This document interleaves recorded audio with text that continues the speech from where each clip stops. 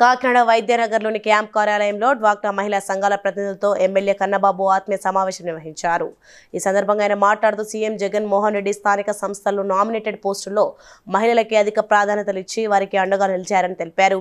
Chandrababu yellow media మాటలను మహిళలు నమ్మొద్దని సూచించారు.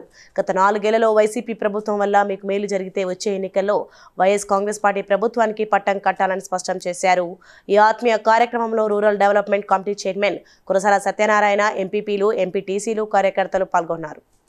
గ్రామ అధ్యక్షులు గాంజా సత్యబాబు గారికి. ఇంకా చాలా మంది పెద్దలు ఉన్నారు. ఇంతమంది పేర్లు చెప్తే నేను మర్చిపోతాను ఎక్కడో చోట. సో పేర్లు చెప్పని వాళ్ళందరికీ.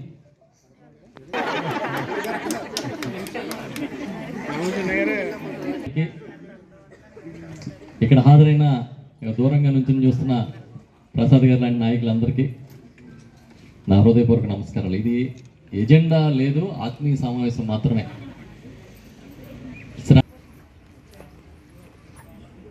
ఏం చేశాడు చివరికి? పసుపు కుంకుమని పదివేలు అకౌంట్లో వేసి చేతులు దులుపుకుంటే నువ్వు మాకు పసుపు కుంకుమ ఇస్తే నీకు పసుపు రాస్తాం అని చెప్పి అదే రాసి పంపించి బొట్లు పెట్టి పంపించారు జనం. అది కూడా మూడు సార్లు వేశారంట. కానీ నేను చేస్తానని చెబితే చేసే నాయకుడు జగన్మోహన్ రెడ్డి గారు కాబట్టి వచ్చిన మొదటి సంవత్సరం నుంచే అమలు చేసి చూపించారు. ఇప్పుడు అడిగా నేను. Please like and share subscribe to BCN Telugu news please like share and subscribe to BCN Telugu news